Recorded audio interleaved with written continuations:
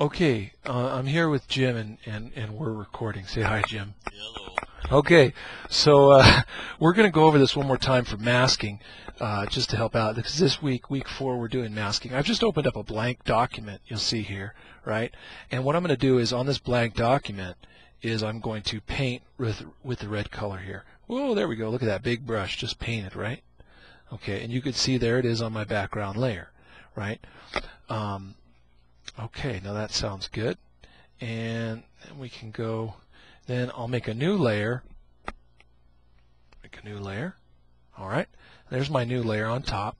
And on my new layer, I'm going to paint, I'll flip these, and I'll paint, well, I won't paint. What I'll do is, uh, no, I will paint. I'll get my paintbrush, and I'll paint a blue circle right there, okay? So you guys can see that there's blue here. If I get my move tool, I can move it right?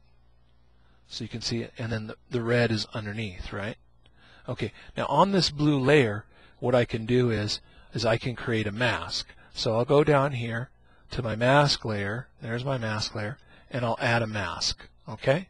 So now, I no longer, uh, it's not just the blue layer, but I've also got a mask right here, right? And remember what, what Chris Orwig said about the mask when he was talking about his daughter's wall, and he had the flower pattern, and something can be revealed and something can be concealed. And so right now my mask is all white. So since it's all white, and white stands for reveal, it's revealing all of this blue shape. But watch what happens if I start painting with black in the mask.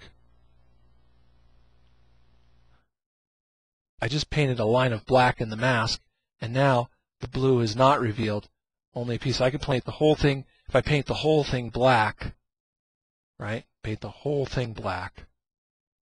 My mask is now black, right?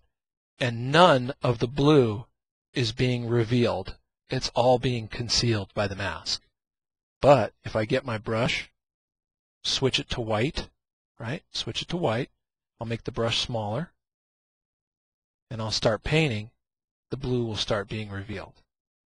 See that? And there's the mask, and the blue is being revealed in the mask.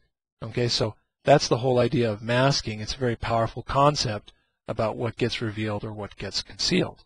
That might help you when you start to do the assignments in week four.